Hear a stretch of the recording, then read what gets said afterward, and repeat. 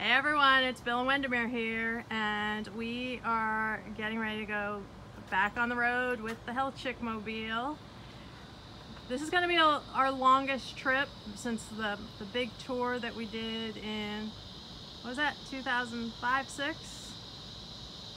2006 for the really big one, 2008 for the, I'm not sure if it was three weeks or a month. Okay, so this will be our third longest. We're gonna do three weeks. The difference on this one is I'm gonna try and work on the road. So we're gonna see how that works. Now, normally for a trip like this, we would plan a couple of weeks in advance, but life well, has kind of happened. We planned, but life happens and we didn't get to put the plan in action. So we didn't act, so this is a one day get ready for a three week trip. So Weekend get ready. Well, you work tomorrow, so it's really one day. Well, you're working tomorrow on it. Right, so I'll have two days. He'll have one day, but I still have school to finish.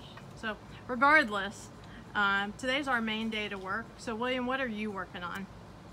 Uh, checking out the wheels, wheel bearings, tire pressure, uh, making sure all the fluids are topped off, making sure we have propane, uh, greasing the hitch, making sure all the hitch components are in good condition.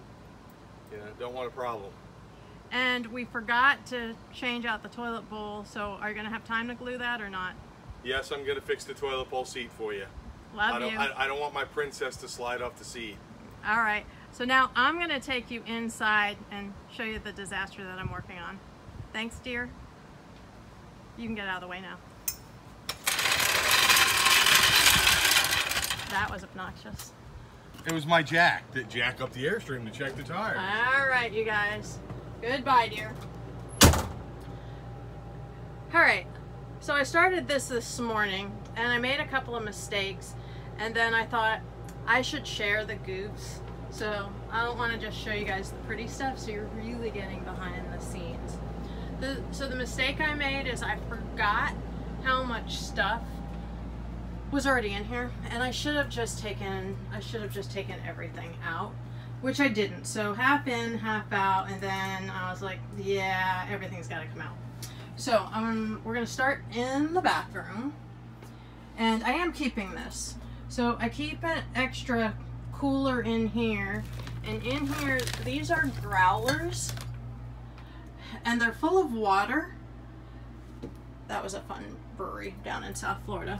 They're full of water, so they serve dual purposes because we are going to North Carolina, and if we pick up beer, we'll already have the growlers. And I like vodka, but that bottle is open, so anything that I'm worried about leaking goes in this bag. And I'm not going to clean this.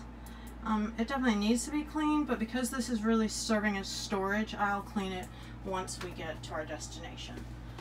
So the toilet bowl, this has been broken um, and he needs to fix that. But what really bad is the top broke. We tried to get one at Camping World and just so you know, they really don't stop parts. Um, so they said a couple of weeks, so he's going to try and fix it. So I, thought this was a good tip to share. So this was a half-used roll of toilet paper, and because it's three weeks, we're short on space, and you have to really consider how much weight. I changed the, the toilet bowl roll out so it's a full roll just to save space. Now the towels, this I got in Ikea, and this is a wine rack, but it also makes for a great towel holder. And the only towels that I am taking on the trip are the microfiber because they dry so much quicker. Then, this is our bathroom. these I am going to keep. These are dried out.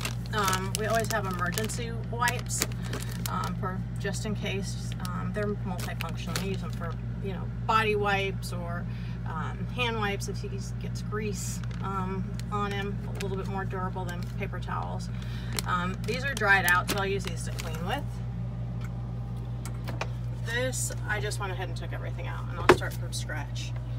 There. And under here, I took everything out here, And what I am leaving, which I think everyone should have, um, so we'll take we'll take two rolls of toilet paper. So I'll put another one in here. This is uh, emergency rain gear. This is an emergency blanket. And these are both first aid kits because you never know what's going to happen on the road and because we're going to be doing some hiking. So that's Bill's closet and I've emptied that.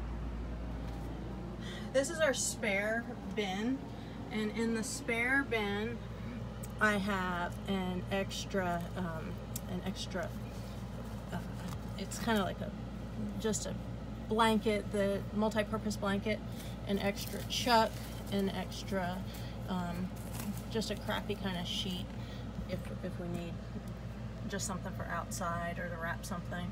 Some extra toilet bowl extra first aid and an extra pair of sheets. And you never know when someone's gonna get sick or something's gonna leak or spill and you want to have a nice nice night's sleep. You don't want to have to worry about finding sheets in the middle of the night just in case something happens. Everything else is kind of in progress so I still got to take everything out of our kitchen cabinets um, I want to show you another goof nothing lasts well so you don't ever want to leave, leave food because of the heat. This was not on purpose. This fell behind the closet and this was chocolate covered almonds and now we just have gap. I did the same thing. I had a half roll of toilet paper, uh, half roll of um, paper towels, put a fresh one on. And in here I've started, started working on my closet. So gals, limited clothing space and I really need to be multifunctional. But one thing I want to point out, I always travel with my rain jacket.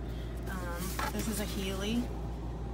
Um, I got this on Poshmark, so I, it, but it's a it's been fantastic. So I love this brand, and this um, this goes with me everywhere.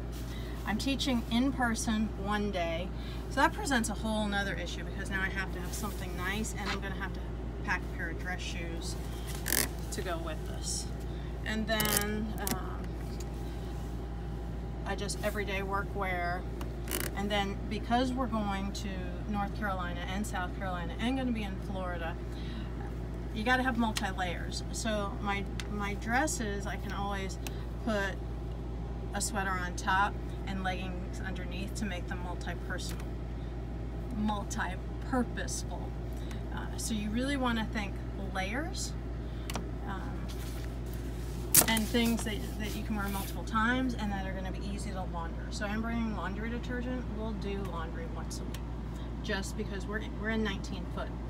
Um, so I have a weight limit and I have a space limit. So there's just a good look of what's going on here. Um, and I will come back in a couple of hours and I'll show you what's going on. So these, I emptied these already. All right, we'll see you in a couple of hours.